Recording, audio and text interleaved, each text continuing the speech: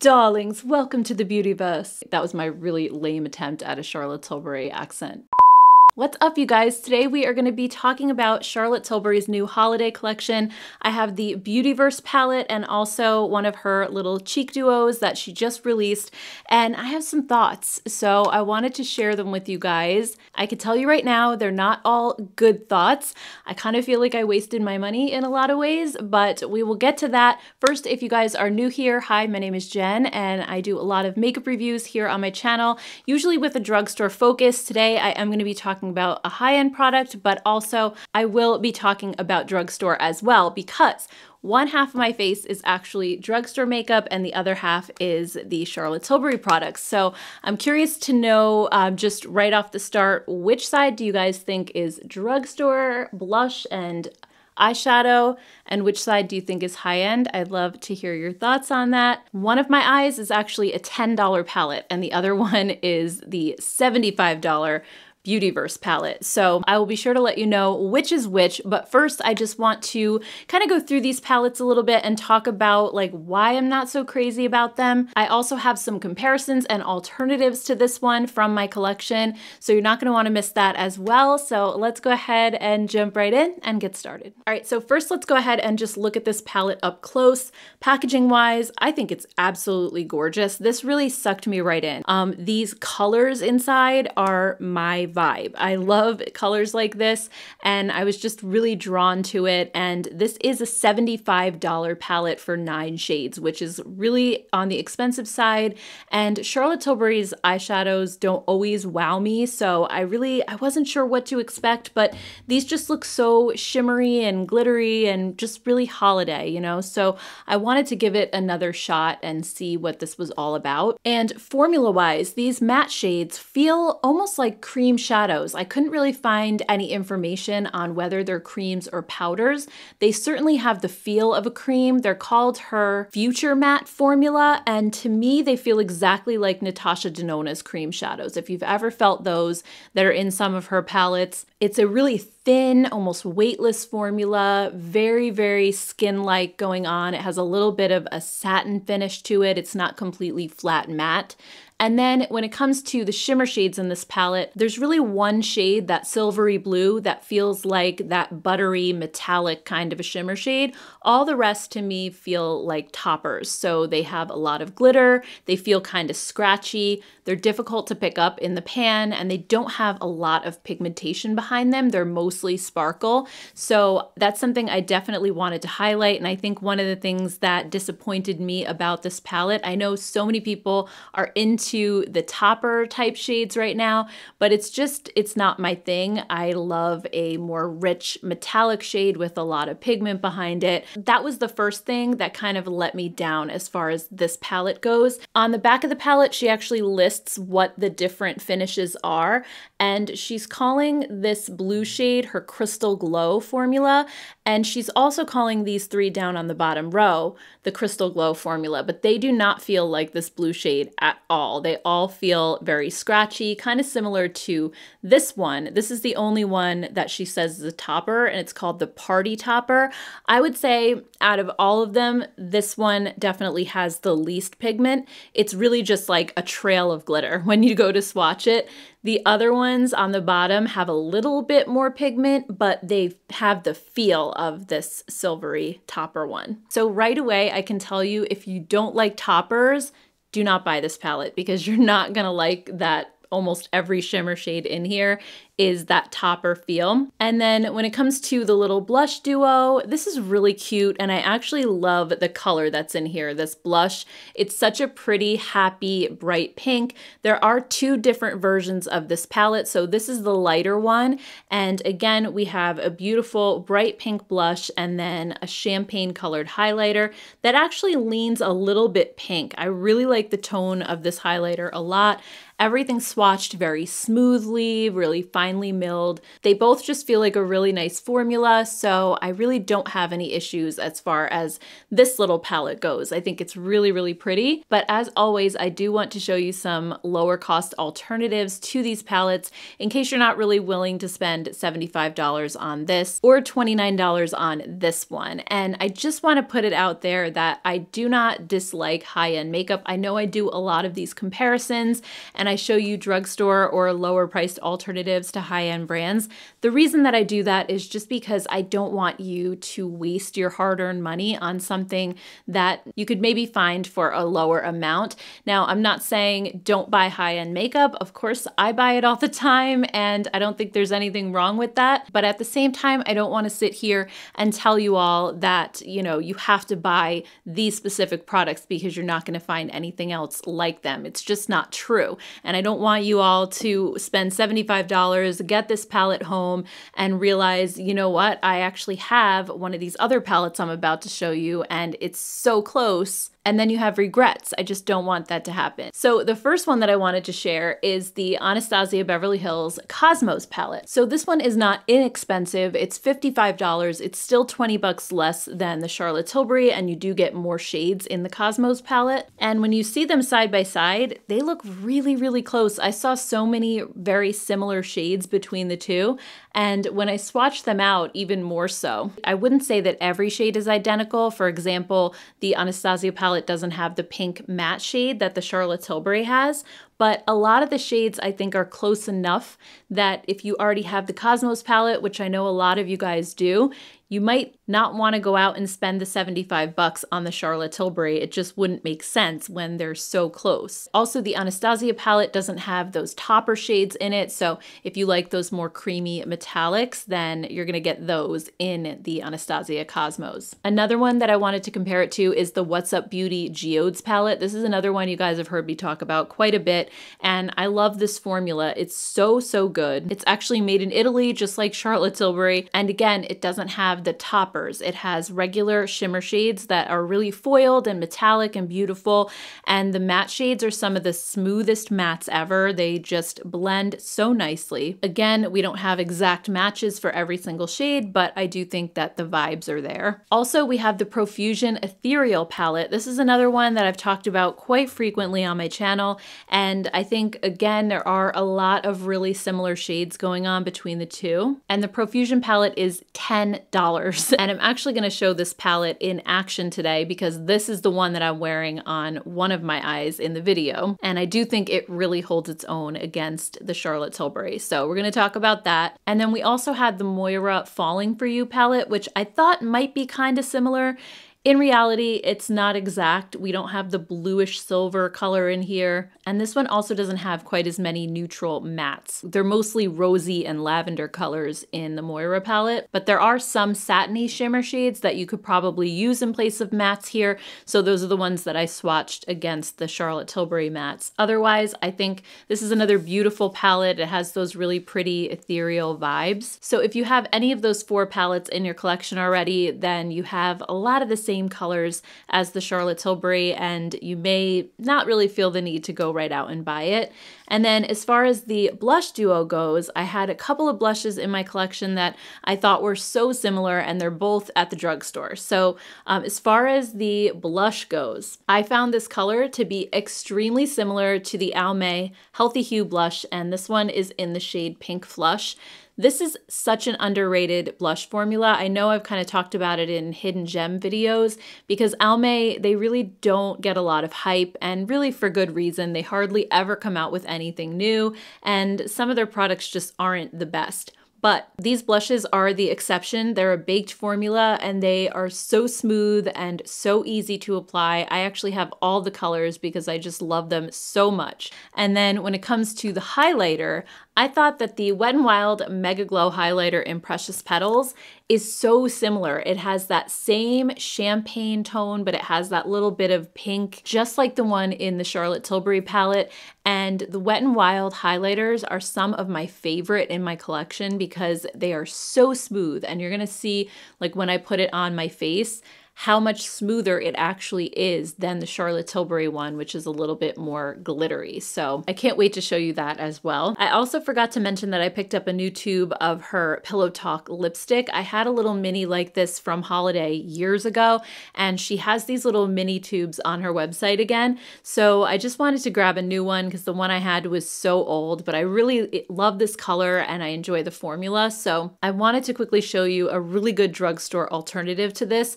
I have shown some in the past. For example, um, Flower Beauty's Spiced Petal is pretty close. It's not identical, but it's kind of similar. Also, L'Oreal's lipstick number 173 is also a super close dupe for it. I'll show you that one really quick. I mean, even down to the shape of the bullet, L'Oreal really just seemed like they were trying to dupe this. Now, the big difference here with the L'Oreal is that it has a little bit more shine. It's more of a satiny, creamy lipstick. So it does have that little bit of like a dewy finish, whereas the Charlotte Tilbury one is more matte. So that's really the big difference. And also, I think the L'Oreal is just slightly, slightly more pink. But I do think this is a really close dupe that looks very similar on the lips. The one that I wanted to show you guys today, though, is one that I just found recently. And this is from e.l.f. It's their O Face lipstick and this is in the shade Dirty Talk. So I'm kind of thinking Dirty Talk, Pillow Talk sounds really, really similar.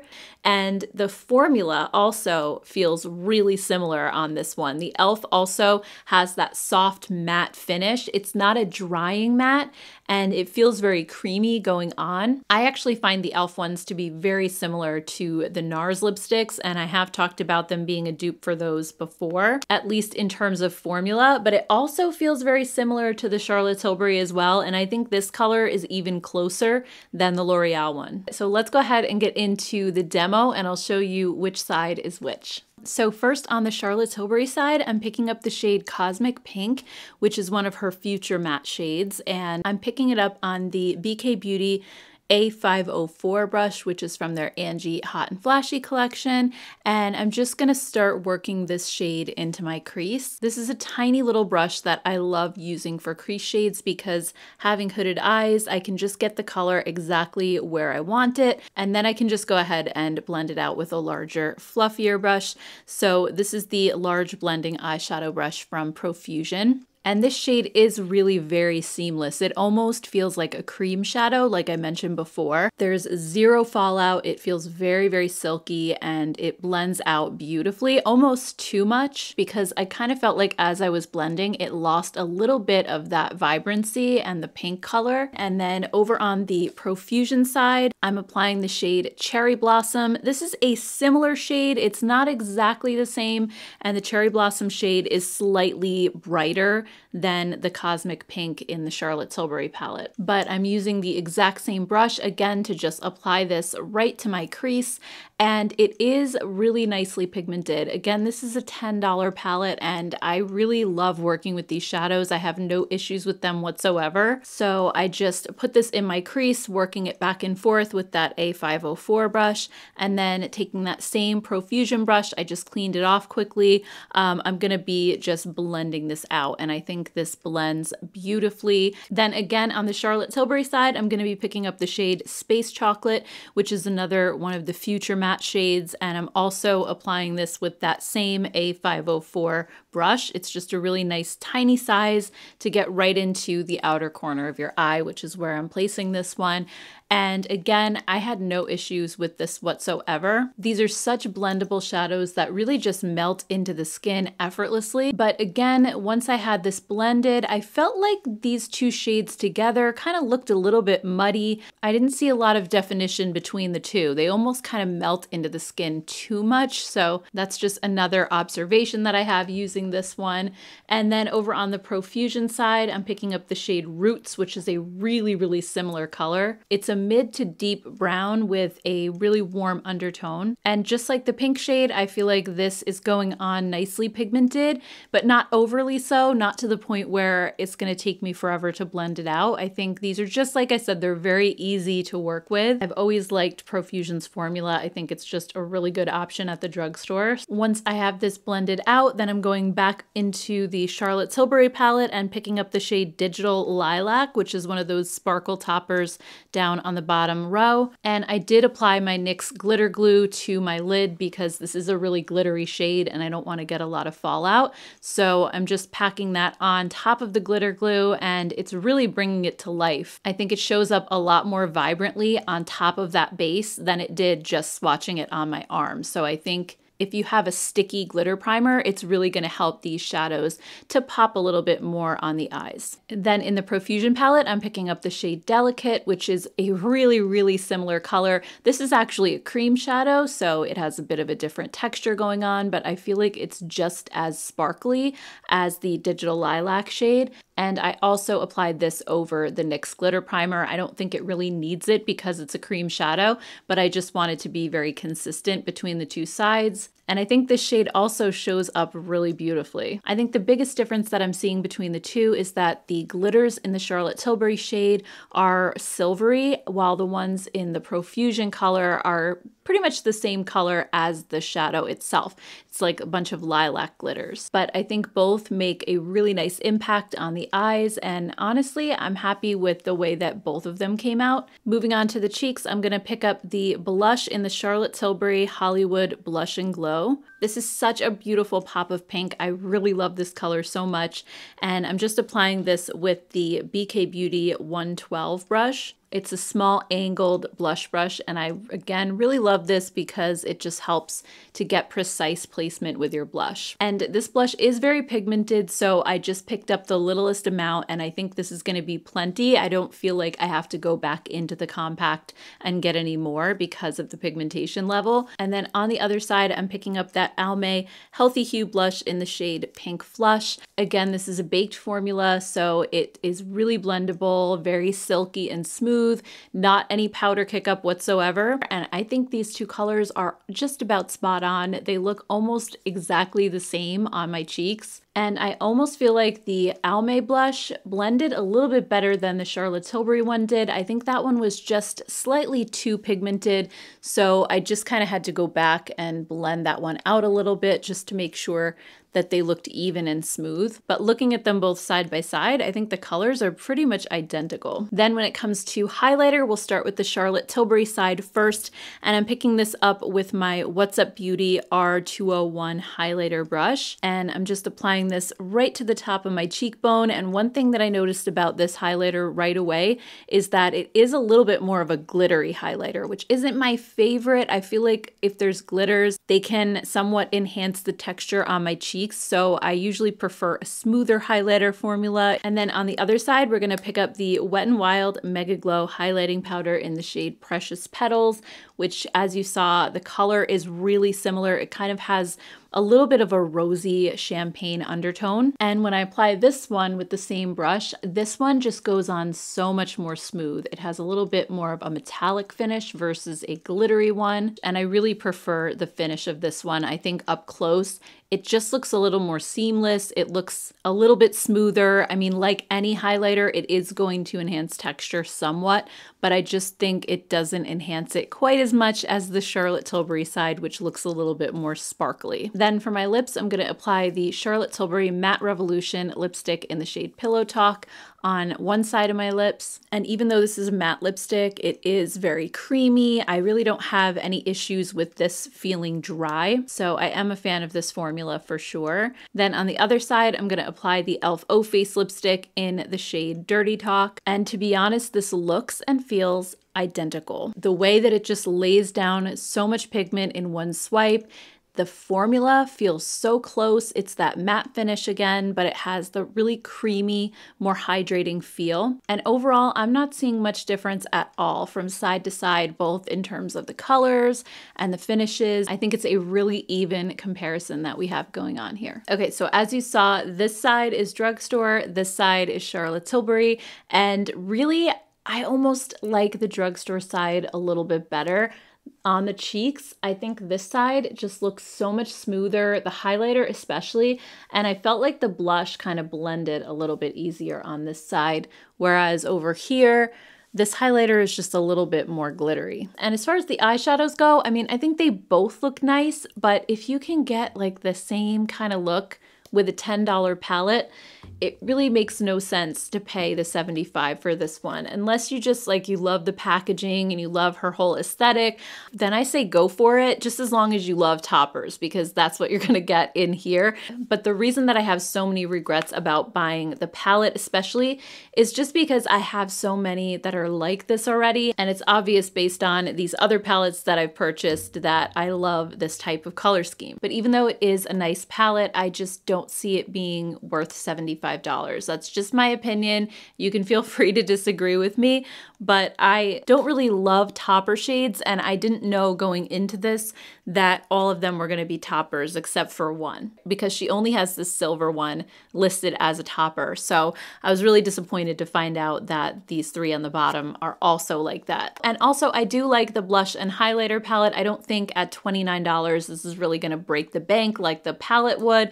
I do wish the highlighter wasn't quite as glittery as this. And now that I've found those drugstore options, obviously they're not in this beautiful packaging and they're not together. So maybe going out and buying these two isn't as fun as buying this one. Again, that's kind of up to you and how you feel, but just know that these are out there. If you're looking for these colors specifically, you can really get the same kind of look out of these. And I've used both of these products for years and I know how long lasting they are on the cheeks.